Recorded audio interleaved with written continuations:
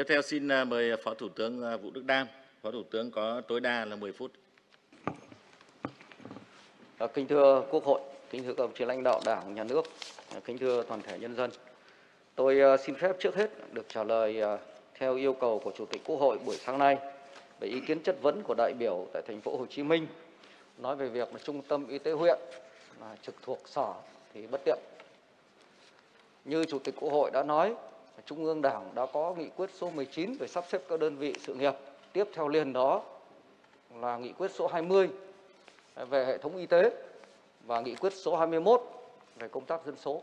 Thì trong đó đều khẳng định là mỗi một huyện sẽ có một trung tâm y tế thực hiện cả chức năng dự phòng, điều trị dân số, trừ những nơi có bệnh viện đã đạt tiêu chuẩn bệnh viện cấp 2 và phải chịu sự điều hành chỉ đạo về chuyên môn thống nhất của ngành y tế từ trung ương đến địa phương và sự quản lý lãnh đạo chỉ đạo của cấp ủy chính quyền địa phương. Đương nhiên quan điểm của chính phủ, của Thủ tướng Chính phủ là luôn luôn nghiêm túc thực hiện theo nghị quyết của Trung ương. Tuy nhiên, tháng 3 năm 2019 thì Bộ trưởng Bộ Y tế lúc đó có văn bản yêu cầu các địa phương là để nguyên trung tâm y tế huyện trực thuộc sở. Và việc này thì không đúng với tinh thần chỉ đạo của chính phủ. Chúng tôi đã nhắc nhiều lần và ngay cuối năm 2019 khi tôi được phân công làm bí thư ban cán sự đảng Bộ Y tế, chúng tôi đã bàn trong ban cán sự và sau đó ngày 14 tháng 1 Bộ Y tế đã có văn bản gửi tất cả ủy ban nhân dân các tỉnh, thành phố khẳng định việc sắp xếp các trung tâm y tế huyện là thuộc hoàn toàn thẩm quyền của chính quyền địa phương và thay thế tất cả các văn bản của Bộ Y tế trái với tinh thần này. Đề nghị thành phố Hồ Chí Minh căn cứ vào văn bản đó để thực hiện. Thứ hai, bây giờ tôi còn rất ít thời gian thì à, muốn nói về chống dịch theo yêu cầu của đồng chí Chủ tịch Quốc hội và đồng chí Thủ tướng Chính phủ. Thì đồng chí Bộ trưởng à, đã trả lời chất vấn sáng nay và hai ngày qua theo dõi về thảo luận kinh tế xã hội trên hội trường chúng ta đã nói rất nhiều, rất đầy đủ. Trong vòng mấy phút thì rất khó nói lại rất nhiều. Để nói về chống dịch thì không chỉ riêng tôi mà tất cả những người không chỉ ở thành phố Hồ Chí Minh không chỉ trong ngành y tế mà rất nhiều địa phương. Chắc là có rất nhiều điều để nói. Nhưng mà trước hết thì tôi xin nói rằng, chúng ta ví đây là một cuộc chiến. Ngày hôm nay chúng ta kiểm soát được tình hình theo nghị quyết 128 và mọi việc dường như được khởi sắc. Cái chỉ số phục hồi Covid theo nghiên cứu của Nikkei trước đây một tháng chúng ta đứng chót bảng, thì bây giờ đã đứng lên giữa bảng rất nhanh. Nhưng tôi xin nói rằng cuộc chiến này vẫn đang tiếp diễn. Từ mấy ngày nay, số ca nhiễm vẫn tăng. Ngay các đại biểu ngồi đây có nhiều đồng chí lãnh đạo tỉnh, thì mấy hôm nay dù họp quốc hội đây, chắc vẫn phải thường xuyên chỉ đạo về nhà. Tất cả những ý kiến, góp ý của các đại biểu sáng nay về các bất cập, hạn chế, tôi là người trực tiếp theo dõi từ đầu, đã nằm ở trong vùng dịch. Tôi thấy rằng tất cả những ý kiến đó rất đúng có những thứ thì mới xuất hiện trong lúc chúng ta chống dịch. Khi hệ thống y tế bị quá tải, nhưng có những lúc cũng do những tồn tại, không chỉ trong ngành y tế đâu, trong cả quản lý điều hành xã hội nói chung của chúng ta, thì bộc lộ. Và tất cả ý kiến đấy thì chúng ta sẽ phải nghiêm túc tiếp thu để chúng ta từng bước rất chắc chắn nhưng mà rất khẩn trương để khắc phục. Bởi vì chúng ta không thể để một đợt dịch mà gây đau thương, tổn thất lớn như vừa rồi xảy ra nữa. Tôi cũng phải một lần nữa cũng phải nói rằng, như tôi đã nói, không chỉ lực lượng y tế, không chỉ công an, không chỉ quân đội, mà toàn bộ lực lượng của cán bộ chính quyền cơ sở, đảng, chính quyền mặt trận ở thành phố Hồ Chí Minh, ở các tỉnh dịch bị nhiễm nặng, vô cùng vất vả và thực sự đều bị quá tải.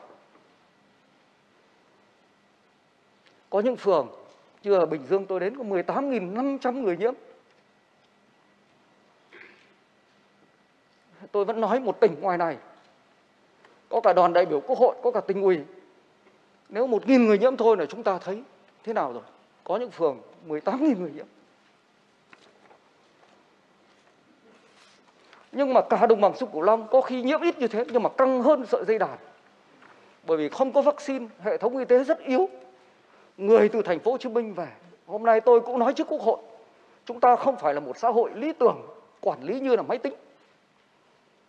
Hàng đêm ở đấy chúng tôi vẫn phải giải quyết hàng mấy chục, hàng trăm bà con đi từ Hồ Chí Minh, từ Bình Dương về các tỉnh. Giải quyết thông thoáng cho đi thì cũng không được vì hôm sau bà con sẽ về nhiều hơn. Mà giữ bà con lại thì người già, trẻ con, có khi là mưa. Dây dứt lắm và tất cả các ông chí lãnh đạo các tỉnh đều vô cùng dây dứt và không có ai yên lòng được đâu. Bây giờ chúng ta phải giữ vững cái thành quả này. Bằng cách nào? Thì chính phủ đã ra nghị quyết 128 và bây giờ đang soạn một cái chiến lược. Thực ra gọi là chiến lược nhưng nó cũng chỉ là có thời hạn 2 năm thôi để chúng ta phục hồi trong và sau Covid. Thì tôi xin tóm tắt có mấy điểm chúng ta cần phải làm. Thứ nhất là muốn nói gì thì bây giờ chúng ta đã có vaccine về. Chúng ta đều biết là vaccine tiêm được thì vẫn còn lây. Nhưng mà lây sẽ chậm đi. Và đặc biệt là dù tiêm một mũi thôi, nhưng mà cái tỷ lệ bị nhiễm nặng sẽ rất thấp. Hiện nay Bộ Y tế thì đang đánh giá, nhưng mà tôi từ thực tiễn, từ Bình Dương và gần đấy nhất là Phú Thọ, thì những người dù chỉ tiêm một liều vaccine thôi thì tỷ lệ nhiễm bệnh nhưng mà trở thành bệnh nặng rất rất thấp. Nó cho phép chúng ta bình tĩnh hơn nếu khi đã tiêm xong vaccine. Và vaccine thì nhờ sự nỗ lực của toàn hệ thống của các đồng chí lãnh đạo thì hiện nay tôi cũng xin báo cáo là vaccine hiện nay chúng ta đã đủ Chúng tôi đã yêu cầu cơ quan Bộ Y tế báo cáo rất cụ thể. Hiện nay để tiêm đủ cho người lớn và hai mũi, đủ hai mũi thì miền Bắc còn thiếu 23 triệu liều. Và tuần thứ tư tháng 11 sẽ phân đủ toàn bộ cho các tỉnh phía Bắc. Các tỉnh phía Bắc là đi về sau một chút vì chúng ta đang giữ được tốt trận địa. Các tỉnh miền Trung cần thêm 5 triệu liều. Tuần thứ ba tháng 11 sẽ đủ hết các tỉnh Tây Nguyên còn cần 2,5 triệu liều. Thì tuần thứ hai tháng 11 tức là tuần này sẽ đủ hết. Các tỉnh đồng bằng sông Cửu Long, miền Nam nói chung thì còn thiếu 4 triệu liều và tuần này sẽ đủ hết. Như vậy bây giờ chúng ta là tiêm, tiêm và tiêm. Tiêm cho thật an toàn. Trước đây chúng ta phải đắn đo là đối tượng nào, bây giờ là tiêm gọn từng nơi từng cụm một huân chiếu. Thứ hai tiêm rồi nhưng mà ngay các nước ở châu Âu hiện nay dù đã tiêm vaccine rất nhiều vẫn lây nhiễm. Chúng ta nhất thiết phải nhớ là bình thường mới không thể là bình thường. Đấy là đeo khẩu trang. Tất cả đại biểu Quốc hội ngồi đây đều được kiểm tra sức khỏe, đều đảm bảo không nhiễm rồi. Nhưng mà Quốc hội làm gương vẫn đeo khẩu trang. Toàn dân chúng ta vẫn phải nhớ 5K. Và tất cả các cơ quan đơn vị vẫn phải thực hiện. Tại làm sao? Vì nếu chúng ta không làm lây nhiễm nhiều người thì sẽ quá tải hệ thống y tế. Chúng ta có tiêm hết 100% cho những người từ 12 tuổi trở lên. Đến cuối năm nay, như anh Thanh Long nói, thì cũng chỉ mới được 80% dân số. Mà vaccine bảo vệ thì tác dụng của nó cũng chỉ được khoảng 80%. 8 nhân 8 bằng 64, tức là lúc đấy mới được có 64% được bảo vệ. Nếu chúng ta không làm tốt cái an toàn Covid trong sinh hoạt, trong sản xuất thì sẽ dẫn đến quá tải. Tất cả đợt dịch vừa qua chúng ta mới có một triệu, gần một triệu người bị nhiễm. Nhưng mà chúng ta nên nhớ là còn mấy chục triệu người vẫn còn nguy cơ nhiễm. Thứ ba là để chúng sống được thì chúng ta bình tĩnh khi đã tiêm vaccine rồi thì chúng ta chỉ cần là thực hiện giám sát y tế thật nghiêm ngặt. Ở đây có câu chuyện xét nghiệm.